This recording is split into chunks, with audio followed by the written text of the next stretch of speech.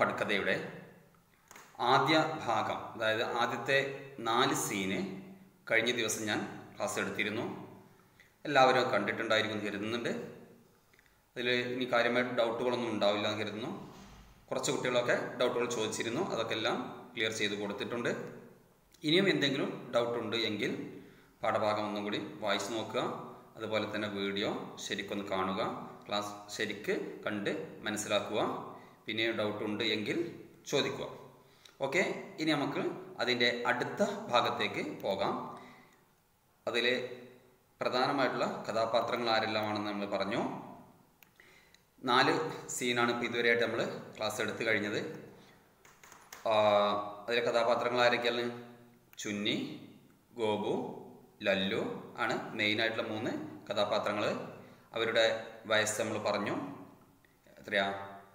എട്ട് ഒൻപത് പത്ത് എന്ന ലെവലിൽ ഒരു എട്ടോ പത്തോ വയസ്സ് തോന്നിക്കുന്ന മൂന്ന് കുട്ടികളാണുള്ളത് അല്ലേ? അവർ എന്താണ് അവർ ഈ കഥയിൽ അല്ലെങ്കിൽ ഈ പടക്കഥയിൽ എന്താണ് പറയുന്നത്? ആ അവർ ടി വി കാണാൻ പോകാൻ വേണ്ടി പദ്ധതി ഇടുന്നതാണ് ഒന്നാമത്തേതിലുള്ളത്. രണ്ടാമത്തേതിൽ അവരങ്ങനെ ടി വി കാണാൻ പോകുന്നു. മൂന്നാമത്തേതിൽ ഗോപു എന്നോ മുമ്പെന്നോ ടി വി കണ്ട ആ ഓർമ്മയിലുള്ള കാര്യങ്ങളൊന്ന് ഓർത്തെടുക്കുന്നു. അല്ലേ? പിന്നെ നാലാമത്തേതിലോ അതേപോലെ തന്നെ അവർ വീണ്ടും ടി വി കാണാൻ വേണ്ടിയിട്ട് പോയിക്കൊണ്ടേ ഇരിക്കുന്നു. ഓക്കെ ഇത്രയാണ് നമ്മൾ പറഞ്ഞു കഴിഞ്ഞത്. ഇനി നമുക്ക് അടുത്ത സീൻ മുതൽ ഒന്ന് നോക്കാം അല്ലേ? സീൻ പാഞ്ച്. കഴിഞ്ഞ പാഠത്തിൽ കഴിഞ്ഞ ക്ലാസ്സിൽ നമ്മൾ വ്യക്തമായിട്ട് പടുക്കഥ എഴുതേണ്ട രീതിയും മറ്റും കാര്യങ്ങളും വ്യക്തമായിട്ട് പറഞ്ഞു തന്നിരുന്നു. ഞാൻ അന്നേ സൂചിപ്പിച്ചിട്ടുണ്ട് പഠിക്കഥ ഒൻപതാം ക്ലാസ്സിലും പത്താം ക്ലാസ്സിലും എല്ലാം പരീക്ഷയ്ക്ക് നാല് മാർക്കിന് വരാൻ ചാൻസ് കൂടുതലുള്ള ഒരു ചോദ്യമാണ്. അതുകൊണ്ട് ശരിക്ക് മനസ്സിലാക്കുക. ഇവിടെ ടി വി എന്ന പാഠഭാഗം വായിച്ച് മനസ്സിലാക്കുന്നതിന്റെ കൂടെ തന്നെ എങ്ങനെയാണ് ഒരു പടുക്കഥ എഴുതേണ്ടത് എന്ന രീതി കൂടി നിങ്ങൾ ഇതിൽ നിന്നും മനസ്സിലാക്കണം. പടുക്കഥയുടെ സ്റ്റെപ്പുകൾ എന്തെല്ലാം? ഇതെല്ലാം ഞാൻ കഴിഞ്ഞ ക്ലാസ്സിൽ വ്യക്തമായി പറഞ്ഞു തന്നിട്ടുണ്ട്. ഓക്കെ അപ്പോൾ ഞാൻ അന്നേ പറഞ്ഞതാണ് എട്ട് സീനുകളായിട്ടാണ് എട്ട് ദൃശ്യങ്ങളായിട്ടാണ് ഇവിടെ ഈ പാഠഭാഗം കൊടുത്തിട്ടുള്ളത്. അതിൽ നാല് ഭാഗമാണ് നമ്മൾ ആദ്യം പറഞ്ഞത്. അപ്പോൾ ഇനി ബാക്കി നോക്കാം. ഓക്കെ? സീൻ പാഞ്ച്. കസ്ബെ കി സബ്ജി മണ്ടി. സബ്ജി മണ്ടി. കസ്ബെ നമ്മൾ ആദ്യം പറഞ്ഞു അല്ലേ? സബ്ജി മണ്ടി പച്ചക്കറി മാർക്കറ്റ് എവിടെ? കസ്ബേക്ക് കസ്ബെ ചെറിയ പട്ടണത്തിലെ. ആ ചെറിയ പട്ടണത്തിലെ പച്ചക്കറി മാർക്കറ്റ് പിന്നെ അടുത്തായിട്ട് എന്താ വേണ്ടത്? ഇപ്പോൾ സ്ഥാനായി. ഇനി അടുത്ത എന്ത് വേണം? സമയം. ഷാം കെ ആട്ട് ബച്ചെ ഹെ വൈകുന്നേരം എട്ട് മണിയായിട്ടുണ്ട്. ഇനി കഥാപാത്രങ്ങൾ ആരല്ല? അല്ലേ? ലല്ലോ സബ്ജി മണ്ടി ഭീഡ് മേ തൊട പീച്ചെ രേഖയാഹെ. അപ്പോൾ പച്ചക്കറി മാർക്കറ്റാണ് നമുക്കറിയാലോ. അങ്ങാടിയിൽ ചെന്നിട്ടുണ്ടെങ്കിൽ അവിടെ കുറച്ച് ബീഡ് ബീഡ് എന്നാൽ ആൾക്കൂട്ടം. അപ്പോൾ ആ ആൾക്കൂട്ടത്തിൽ ലല്ലു ആ പച്ചക്കറി മാർക്കറ്റിൽ എന്താണ്? കുച്ച് പീച്ചെ ആകെയാഹെ പീച്ചെ രേഖയാഹെ കുറച്ച് പിന്നിലായിട്ടുണ്ട്.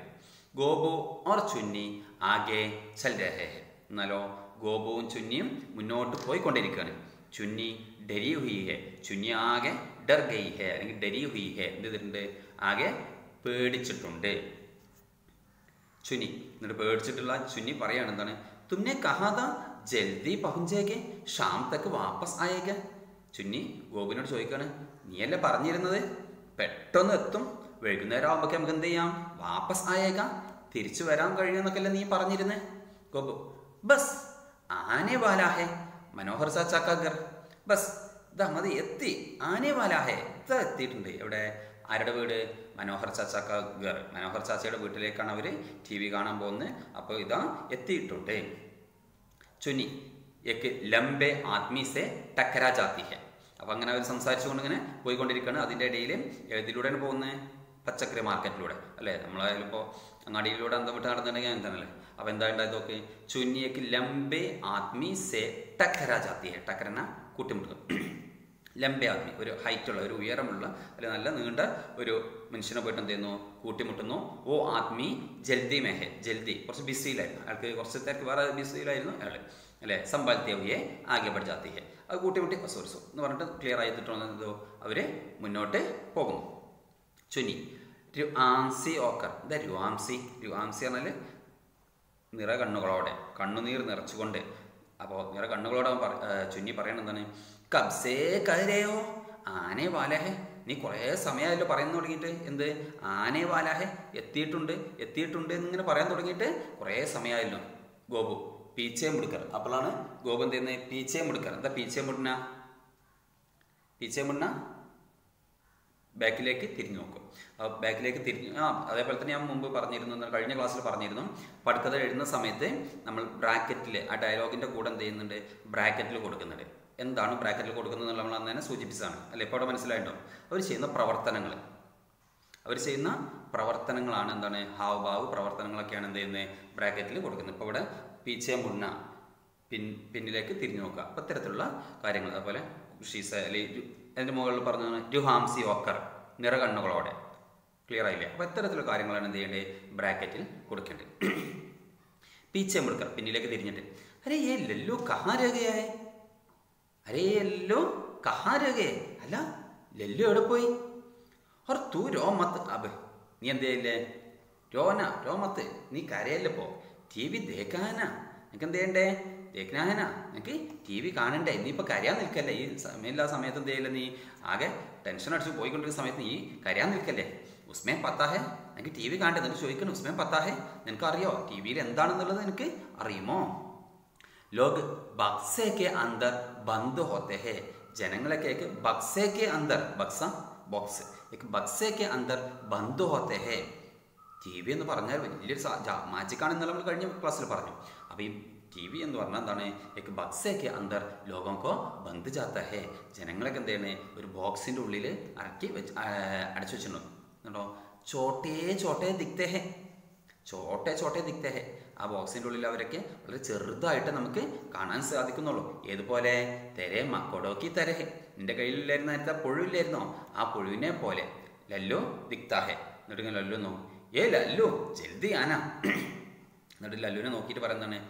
ലല്ലു ജൽദി ആന പെട്ടെന്ന് ഇങ്ങോട്ട് വാ. ലല്ലു ദൗഡ്താ അത്താഹെ അങ്ങനെ ലല്ലു എന്ത് ചെയ്യുന്നു? ഓടിയിട്ട് ഇവരുടെ അടുത്തേക്ക് വരുന്നു. തീനോ ഹാത്ത് പക്കടക്കർ ചലനെ അങ്ങനെ അവർ ആ ടി വി കാണാനുള്ള ആ ഒരു ഇതിൽ ടി വി കാണാൻ വേണ്ടിയിട്ട് മൂന്ന് പേരും ഒരുമിച്ച് ഹാത്ത് പക്കടക്കർ കൈ പിടിച്ചുകൊണ്ട് മൂന്ന് പേരും അങ്ങനെ മുന്നോട്ട് പോയിക്കൊണ്ടേയിരിക്കുന്നു. അപ്പോൾ അഞ്ചാമത്തെ സീനിൽ എന്താ പറഞ്ഞതെന്നുള്ളത് മനസ്സിലായിട്ടുണ്ടാവും അല്ലേ? എവിടെയാണ് സ്ഥലം മനസ്സിലായി? എന്തൊക്കെയാണ് അത് സംഭവിച്ചതെന്ന് മനസ്സിലായി?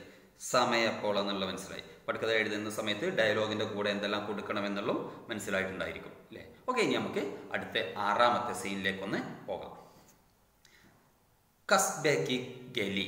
നേരത്തെ പറഞ്ഞത് തന്നെയാണ് കസ്ബേക്കി ഗലി ഒരു തെരുവിലെ ആ പട്ടണത്തിന്റെ ഒരു തെരുവിലെ. ഷാംകാസ് സമയം വൈകുന്നേര സമയം. നേരത്തെ അഞ്ചാമത്തെ എന്തായിരുന്നു പാഞ്ച് മഞ്ച് വൈകുന്നേരം ആണെങ്കിൽ അഞ്ച് മഞ്ച് അഞ്ച് മണിയായിരുന്നു. എന്നാലിപ്പോൾ കുറച്ചും കൂടി വൈകുന്നേരമായിട്ട് ബച്ചെ എക്ക് ഗലിക്ക് മോഡ് പറഹേ. കുട്ടികൾ എന്താണ്? എക്ക് ഗലിക്ക് മോഡ്. എന്താ മോഡ്? മോഡ് ടേൺ വളവിൽ ആ തിരിവിലാവുന്ന അല്ലെങ്കിൽ വളവിലാവുന്നു. സാമനെ കച്ചേ പക്കേ മക്കാനോ കി കത്താർ ഹെ.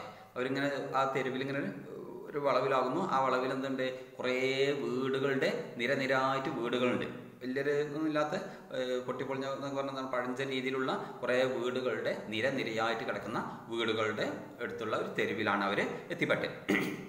ഗോപു ഒരു ഗോപു പറയുന്നു ബസ് യഹി ഗലി ഹെ. ആ ഈ തെരുവ് തന്നെയാണ്. ഇസ്മേ ഹെ മനോഹർ ചാച്ചാക്കർ.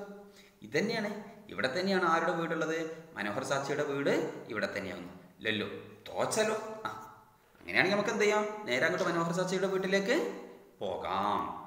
ഗോപു മക്കോനോക്കോ ദേഖത്തേ ഹുവ. ആ വീടുകളിലേക്കൊക്കെ ഇങ്ങനെ അങ്ങനെ നോക്കിയിട്ട് ആ ലേക്കിൻ യാത് കർണാതോ കോൻസാ ഗർ ഹെ. ഇങ്ങനെ ഓരോ വീട്ടിലേക്ക് ഇങ്ങനെ നോക്കിയിട്ട് പക്ഷെ അങ്ങോട്ട് ഓർമ്മ വരുന്നില്ല കോൻസാ കറുത്ത് ഏത് വീടാണ്? കുറേ വീടുകളുടെ നിരനിരയായ വീടുകൾ കിടക്കുന്നുണ്ടെന്ന് പറഞ്ഞു അല്ലേ അപ്പോൾ അതിൽ ഇവിടെ തന്നെയാണ് മനോഹർ ചാച്ചയുടെ വീട്. പക്ഷേ ഇതിൽ കോൻസ ഗർ മനോഹർ ചാച്ചാക്കാഹെ മനോഹർ ചാച്ചയുടെ വീട് ഏതാണെന്നുള്ളത് കിട്ടിയിട്ട് എനിക്ക് ഓർമ്മ വരുന്നില്ല. ചുന്നി പറക്കൈസേ ഓർമ്മയില്ലേ പിന്നെ എങ്ങനെയാ നമ്മൾ മനോഹർ ചാച്ചയുടെ വീട്ടിലേക്ക് പോകുക? ഗോപു.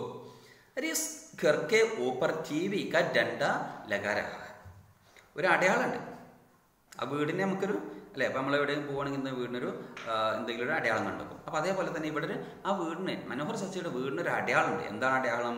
ഉസ് കിർക്കെ ഊപ്പർ. കിർക്കെ ഊപ്പർ. വീടിന്റെ മുകളിൽ എന്തുണ്ട്? ടി വി ക ഡണ്ട. ടി വി ക ഡണ്ട. ഡണ്ട എന്ന് നമ്മൾ കഴിഞ്ഞ പറഞ്ഞതാണല്ലേ? ടി വിയുടെ ഒരു ആന്റിന അതിന്റെ ഒരു വടി അല്ലെങ്കിൽ ആന്റിന ഉണ്ട്. ആന്റിന ആന്റിന ഉണ്ട്.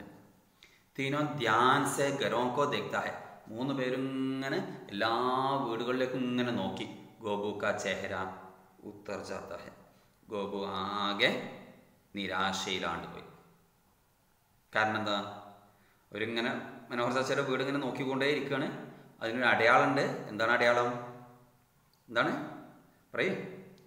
ആ ടി വിയുടെ ആന്റിന ഉണ്ട്. അനി ആ മനോഹർ ചാച്ചയുടെ വീട്ടിൽ ടി വിയുടെ ആന്റിന ഉണ്ട്. അപ്പോൾ ആ ഒരു ധൈര്യത്തിൽ അവരിങ്ങനെ സെർച്ച് ചെയ്യായിരുന്നു. പക്ഷേ അവർ നോക്കുന്നതിനിടയിൽ പെട്ടെന്ന് അവരാകെ നിരാശരായിപ്പോയി. കാരണം ഗോപു പറ തോ ഗോപു പറയാണ് ഇവിടെയാണെങ്കിൽ സബ്കി ചെത്പേ ലഗ ഹെ ടി വി വാല ഡണ്ട എല്ലാവരുടെയും തട്ടിൻപുറത്തോ അല്ലെങ്കിൽ റൂഫിന്മേലും എന്തുണ്ട്? ടി വി കാ ഡണ്ട ഹേ ആന്റിന ഉണ്ട് അബ് ക്യാ കരേങ്കെ? ഇനിയിപ്പോൾ എന്താ ചെയ്യുക? ഗോപു ഹിമ്മത് ഹാർത്തേ ഉയ. അവനുള്ള ധൈര്യം മുഴുവൻ ചോർന്നു പോയി. ആകെ ഒരു ധൈര്യം ഗോപാണ് മുതിർന്നവന്. അവന് തന്നെ എന്ത് ചെയ്തു? ധൈര്യം ചോർന്നു പോയി. പത്താനഹി ഇനിയിപ്പോൾ എന്ത് ചെയ്യും? എനിക്കറിയില്ല. മനോഹർ ചാച്ചാനെ ബത്തായാത മനോഹർ ചാച്ച എന്നോട് പറഞ്ഞിരുന്നു ഉൻക ഹേ. പക്ഷെ മനോഹർ ചാച്ച എന്നോട് പറഞ്ഞിരുന്നത് എന്താണ്? അദ്ദേഹത്തിന്റെ വീട്ടിലാണ് ടി വി ഉള്ളത്. അതിന് വീട്ടിൽ മാത്രമേ ഉള്ളൂ എന്നുള്ള രീതിയിലായിരുന്നു പറഞ്ഞിരുന്നത് അല്ലേ? കാരണം അപ്പോൾ ആ ഒരു അടയാളം നോക്കിയിട്ട് വന്നാൽ മതി എന്നായിരുന്നു പറഞ്ഞിരുന്നത്. പക്ഷേ ഇവിടെ വന്ന് നോക്കുന്ന സമയത്തോ പർ സബ് കെ ടി വി ഹെ. എല്ലാ വീട്ടിലും ടി അല്ലെ? അപ്പം നമ്മളൊരു അടയാളം വെച്ച് കാര്യമായിട്ടൊരു അടയാളം വെച്ച് ഇങ്ങനെ പോകുന്നതാണ്. ഒരു ടൗണിൽ ഒരു ചെറിയ പട്ടണത്തിൽ ചെല്ലുകയാണ് നമുക്ക് വലിയ പരിചയമൊന്നുമില്ല. പിന്നെ കൂട്ടത്തിൽ നമ്മൾ ശ്രദ്ധിക്കണം മറ്റൊരു കാര്യം ചെറിയ മക്കളാണ്. അല്ലേ? ഏകദേശം എത്ര വയസ്സുണ്ട്? എട്ടോ പത്തോ വയസ്സുള്ള മൂന്ന് കുട്ടികളാണ്. അപ്പോൾ ഈ മൂന്ന് കുട്ടികൾ സമയം പെട്ടെന്ന് തിരിച്ചു വരാൻ വേണ്ടി പോവാണ്. പക്ഷെ സമയം ഇപ്പോൾ തന്നെ എന്തായി? ആ വൈകുന്നേരമായിട്ടുണ്ട് ഷാം അപ്പോൾ ഇരുട്ടായിക്കൊണ്ടേ ഇരിക്കുകയാണ് ലല്ലോ ബെഹദ് അതാഷ്. ലല്ലോ ആകെ നിരാശനായി. ബെഹദ് അതിരറ്റ അതാശയസ്. അപ്പോൾ അതിരറ്റ നിരാശയോട് കൂടി പറയാൻ എന്താണ് പറഞ്ഞത്? അബ് അം വാപ്പസ് ചാൽ ഇനിയിപ്പോൾ എന്താ നമ്മൾ? വാപ്പസ് ചൽ എന്താ വാപ്പസ് ചലന തിരിച്ചു പോകേ. ആസ്മാൻ തേക്തേ ആകാശത്തേക്ക് നോയിട്ട് പറയണേ നെഹീ നടക്കൂല. കാരണം എന്താ? അന്തേരാ ഹോരഹാഹേ അന്തേരാ ഇരുട്ടായിക്കൊണ്ടിരിക്കുകയാണ്. ഇനി നമുക്കിപ്പോൾ ഈ സമയത്ത് ഇരുട്ടായിക്കൊണ്ടിരിക്കുന്ന സമയത്ത് തിരിച്ചു പോക്കും നടക്കൂല. ചുന്നി. ഹം കോകയെ ഹം കോകയെ നമ്മൾ വല്ലാത്തൊരു ആപത്തിലാണല്ലോ പെട്ടുപോയത്. നമ്മൾ പെട്ടുപോയല്ലോ. നമ്മൾ വല്ലാത്തൊരു പ്രശ്നത്തിലാണല്ലോ പെട്ടുപോയത്. ഗോപു കുച്ച് നഹിം ബോൽത്ത ബസ്രോനെ ലിഖ്താഹെ അപ്പോൾ കൂട്ടത്തിൽ മുതിർന്നവർ ആരാണ്? ഗോപുവാണ് അല്ലേ? അപ്പം മൂന്ന് കഥാപാത്രങ്ങൾ മറക്കരുത്.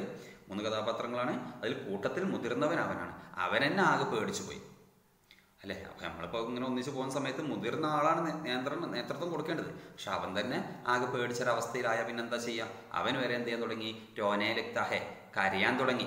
ബാക്കി തോനോബി രോനെ ലിക്താഹെ.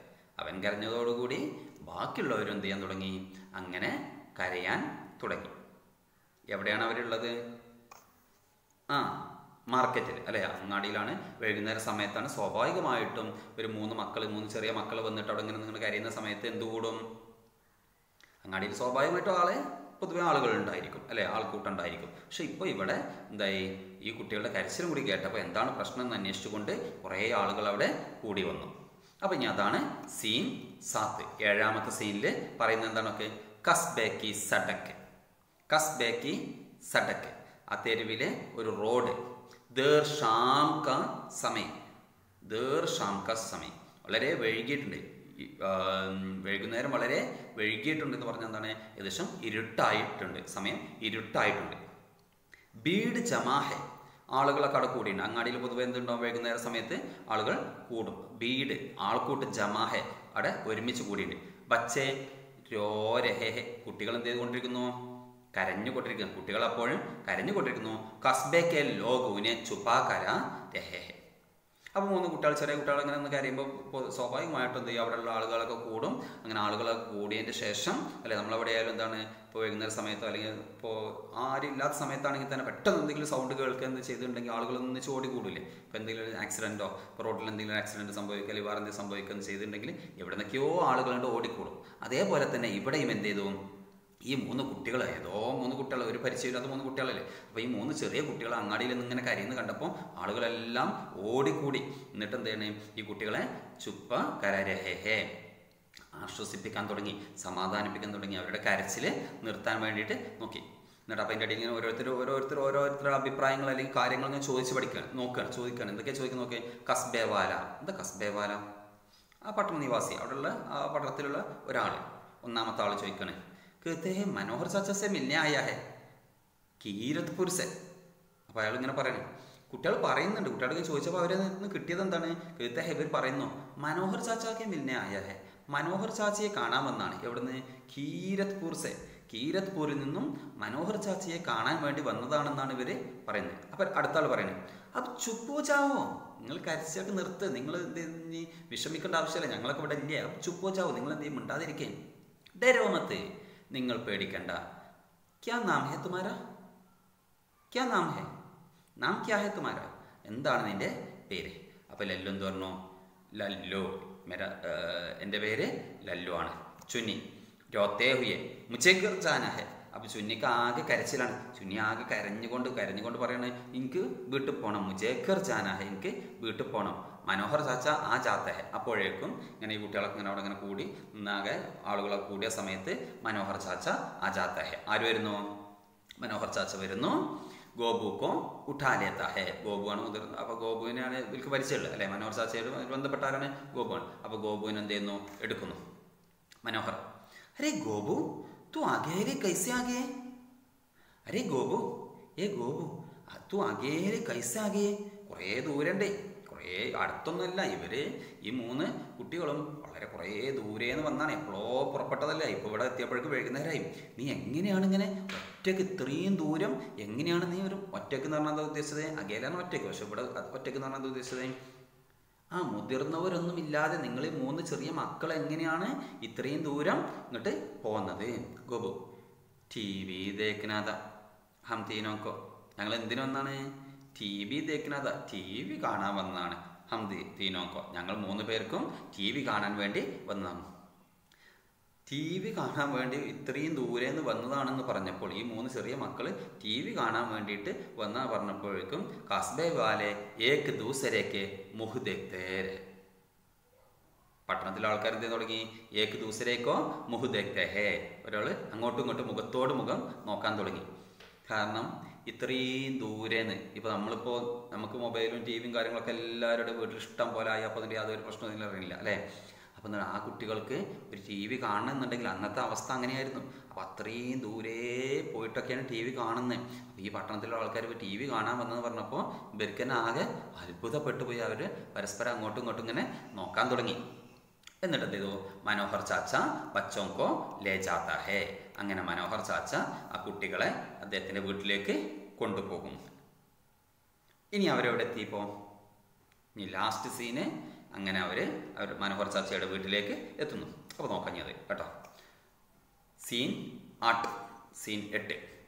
മനോഹർ ചാച്ചാക്ക ഖർ മനോഹർ ചാച്ചയുടെ വീട് പിന്നെ സമയം രാത്ത് ക സമയം. നമ്മൾ നേരത്തെ പറഞ്ഞു ദേർ ഷാമോകയാഹ് അല്ലേ? സീൻ സാത്തിൽ ദേർ ഷാമോകയാഹ് സമയം കുറേ ഇരുട്ടിയിരുന്നു പറഞ്ഞു. അപ്പോൾ ഇവിടെ എന്ത് കുറച്ചും കൂടി കണ്ട് രാത്രിയായി. ബാബാനെ ഗോഹൂക്കോ ഗോതുമേ ബിട്ടായ ബാബ എന്ത് ചെയ്തു ഗോപുവിനെ ഗോത് ഗോത് പറഞ്ഞാൽ മടിയിലേക്ക് ബിട്ടായ ഇരുത്തി ചുന്നി ഔർ ലല്ലു ബി ബൈറ്റഹെ ചുന്നിയും ലല്ലുവും ഒക്കെ എന്ത് ചെയ്തു അങ്ങനെ അവിടെ അവിടെ അങ്ങനെ ഓരോരുത്തർ ഓരോരുത്തരായിട്ട് ഇരുന്നു അപ്പം എല്ലാവരും അവിടെ അങ്ങനെ ഇരുന്നു ബാബ മനോഹറിനോട് പറയാം കുട്ടികളുടെ അച്ഛനായിരിക്കും ബാബ അല്ലേ ബാബ മനോഹർ ചാച്ചയോട് പറയണം എന്താ പറഞ്ഞു നോക്കെ ഗോപു ശൈത്താൻ ഹെ ये सबको पता है पर इतना शैतान हम सोचता नहीं था അല്ലേ ഗോപുര ചെയ്താനാണെന്ന് നമുക്ക് എല്ലാവർക്കും അറിയാം. അതാണ് ഒരു ആ അത്തരത്തിലാണ് ഇവിടെ സംസാരിച്ചത് കേട്ടോ. കാരണം ആ കുട്ടികൾ നമ്മൾ പറയല്ലോ അവൻ പൊട്ടനാന്നറിയാം പക്ഷെ ഇത്രമാത്രം പൊട്ടന നമ്മൾ ഒരിക്കലും കരുതിയില്ല എന്ന് പറഞ്ഞ പോലെ തന്നെ ഗോബർ ഒരു ശൈത്താനാണ് നമുക്കറിയാം. പക്ഷെ ഇത്ര മാത്രം ഒരു ശൈത്താനാണെന്നുള്ള നമ്മൾ ഒരിക്കലും തന്നെ കരുതിയിട്ടില്ലായിരുന്നു.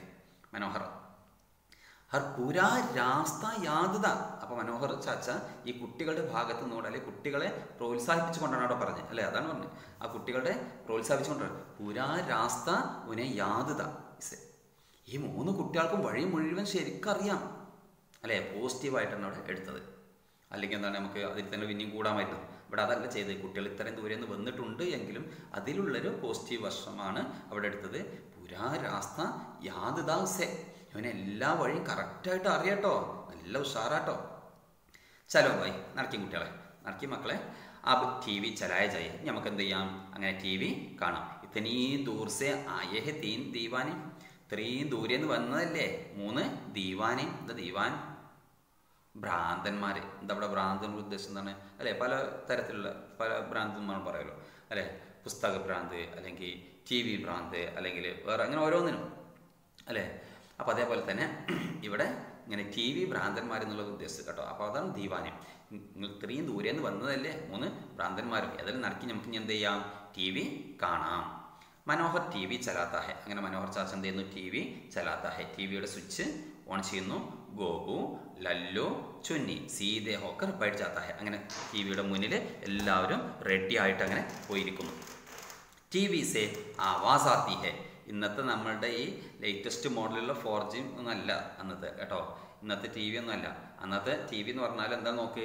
ടി വി സെ ആവാസ് ആത്തി ടി വിന് സൗണ്ട് ഇങ്ങനെ വരാൻ തുടങ്ങി ആദ്യം. ഇന്നിപ്പോൾ നമ്മൾ മനസ്സിൽ കരുതുമ്പോൾ കണ്ണുകൊണ്ട് നോക്കിയാൽ തന്നെ ആ അവിടെ ടി വിയിലുള്ള പിക്ചർ സ്റ്റോ പോസ്റ്റ് ചെയ്യാൻ സാധിക്കുന്നു അതുപോലെ പ്രവർത്തിപ്പിക്കാൻ സാധിക്കുന്ന തരത്തിലാണ് ഇപ്പോൾ ഇന്നത്തെ പക്ഷെ അന്നത്തെ അവസ്ഥ എന്ന് പറഞ്ഞാൽ എന്താണ്? ഇപ്പോൾ ഇവിടെ ടി വി ഓൺ ചെയ്യുന്നു ഓൺ ചെയ്ത് കുറച്ച് കഴിഞ്ഞാൽ സൗണ്ട് വരുന്നു പിന്നെയോ തസ്വീർ ദിക്ന അബി ബാക്കി ഹേ. പിക്ചർ വരാൻ ഇങ്ങനെ കുറച്ച് സമയം കൂടി ഇങ്ങനെ എടുക്കും. കാരണം ഇങ്ങനെ ഇങ്ങനെ പതുക്കെ ഇങ്ങനെ ഇങ്ങനെ പിക്ചറുകൾ ഇങ്ങനെ വരികയുള്ളൂ. അത് നമ്മൾ ഫസ്റ്റ് പറഞ്ഞു അല്ലേ അപ്പോൾ അവരുടെ വീട്ടിലും എന്തായിരുന്നു ബോക്സും ആന്റീനൊക്കെ കൊണ്ടുവന്ന് വെച്ചിരുന്നു. പക്ഷെ വീട്ടിന്റെ മുകളിൽ വെച്ചിട്ട് എന്ത് ചെയ്തു? കുറെ തിരിച്ചു നോക്കി. പക്ഷേ ടി വി കിട്ടുന്നില്ല എന്ന് പറഞ്ഞു. അതേപോലെ തന്നെ ഇവിടെ ഇങ്ങനെയൊക്കെ വെച്ച് ഇങ്ങനെ റെഡിയായി ടി വി ഓൺ ചെയ്തു. അങ്ങനെ ടി വിയിൽ നിന്ന് സൗണ്ട് കേൾക്കുന്നു. പക്ഷേ ഈ പിക്ചർ വരാൻ കുറച്ചും കൂടി സമയമെടുക്കുന്നു. ടി വിക്ക് ആവാസ്. അപ്പോൾ എന്താണ് ടി വിയിൽ നിന്ന് പറയുന്ന ടി വിയിലുള്ള സൗണ്ട് അല്ലെങ്കിൽ ടി വിയിൽ എന്താണ് പറയുന്നത് നോക്കേ അവർ മദ്രാസ് കാ അധികതം താപമാൻ രഹ ചൈത്തീസ് ഡിഗ്രി. ചെന്നൈയിലെ മദ്രാസിലെ കൂടിയ താപനില മുപ്പത്തിനാല് ഡിഗ്രി. അതായത് പിന്നെ കാലാവസ്ഥ കുറിച്ചുള്ള ഒരു വാർത്ത എന്തോ പറയുന്നത് അല്ലേ? ഗോപുക്ക് ആങ്കെ ഫൽ രേയെ ഗോപുവിന്റെ കണ്ണിങ്ങനെ അങ്ങനെ തള്ളിപ്പോയി എന്നറിയില്ലേ ടി വിക്ക് ശീശെ പർ ഹൽക്കി ഹൽക്കി രോഷിനി ബി ഫൈൽ ഗയി ഹേ ആ ടി വിക്ക് ശീശ ശീശ എന്നാൽ സ്ക്രീൻ സ്ക്രീൻ അല്ലെങ്കിൽ ഗ്ലാസ് ആ ടി വിയുടെ ഗ്ലാസ്സിൽ പിന്നെന്ത് ചെയ്തു? ഹൽക്കി ഹൽക്കി കുറച്ച് കുറച്ച് ഇങ്ങനെ രോഷിനി ബി ഫൈൽ ഗയി ഹേ പ്രകാശം ഇങ്ങനെ വന്നുകൊണ്ടിരിക്കും അപ്പോൾ ടി വി ഇങ്ങനെ സൗണ്ട് കേട്ടു. സൗണ്ട് കേട്ടിട്ട് ടി വിയിൽ ഇങ്ങനെ കുറച്ച് കുറച്ച് ഇങ്ങനെ പ്രകാശം ഇങ്ങനെ വന്നുകൊണ്ടിരിക്കുന്നു. തസ്വീര കിസി ബി പൽ ദിക് ചിത്രങ്ങൾ ഏതൊരു നിമിഷം അല്ലെങ്കിൽ ഇപ്പോൾ എന്ത് ചെയ്യും? കാണും എന്നൊരു അവസ്ഥയിലെത്തി ആർ തബി ബിച്ചരി ചലി ചാത്തി ഹേ. ടി വി കാണാൻ വേണ്ടി എത്രയോ ദൂരെ നിന്ന് മക്കൾ എപ്പോഴോ പുറപ്പെട്ടതായിരുന്നു. അങ്ങനെ ടി വി കാണാൻ വേണ്ടി ഒക്കെ റെഡി ആയിട്ടിരുന്നു. ആ സമയത്താണ് ടി വി ഓൺ ചെയ്തു. സൗണ്ട് കേൾക്കൽ തുടങ്ങി. കുറഞ്ഞ രീതിയിൽ ഇങ്ങനെ പ്രകാശം വരാൻ തുടങ്ങി. പക്ഷേ ബിജലി ചലി ജാതി ഹേ പെട്ടെന്ന് എന്ത് ചെയ്യുന്നു? കരണ്ട് പോകുന്നു. ദുഃഖ് അന്തേര ഹോ ജാത്ത ഹേ ആകെ ഇരുട്ടായിപ്പോയി. ഗോപു ചുന്നി ഓർലല്ലോ. സാത്ത് അന്തേരെ ഹേ ഭഗവാൻ. മൂന്ന് മക്കളും എല്ലാവരും ഒരേ രൂപത്തിൽ ഈശ്വര കരണ്ടും പോയല്ലോ. ഇത്രയും ദൂരെ നമ്മൾ ടി വി കാണാൻ വന്നിട്ടുള്ള അവസ്ഥ ഇതാണോ? ഓക്കെ ഇതാണ് ഇപ്പം നമ്മളൊരു പട്കഥ. നമ്മൾ പറഞ്ഞു കഴിഞ്ഞു. ക്ലിയർ ആയിട്ട് കരുതുന്നുണ്ട് ഇനി അതിലെ താഴെ കുറച്ച് ചോദ്യങ്ങളുണ്ട്. അല്ലെ പട്കഥ എഴുതുന്ന സമയത്ത് നമുക്കിപ്പോൾ ഒരു പാഠഭാഗം ക്ലിയർ ആയില്ലേ? ക്ലിയർ ആയിട്ടുണ്ടാവും കരുതുന്നുണ്ട് അല്ലേ? ഓക്കെ. ഇനി നമുക്ക് അതുമായിട്ട് ബന്ധപ്പെട്ട കാര്യങ്ങൾ അടുത്ത് ഞാൻ പറഞ്ഞുതരാം. കാരണം ഇപ്പോൾ തന്നെ ക്ലാസ് കുറേ ലെങ്ത് ആയിട്ടുണ്ട്. തൽക്കാലം ഇവിടെ അവസാനിപ്പിക്കാം. അടുത്ത ക്ലാസ്സിൽ നമുക്ക് കാണാം. സബ്കോ ധന്യവാദം. ക്ലിയർ ആയില്ലേ?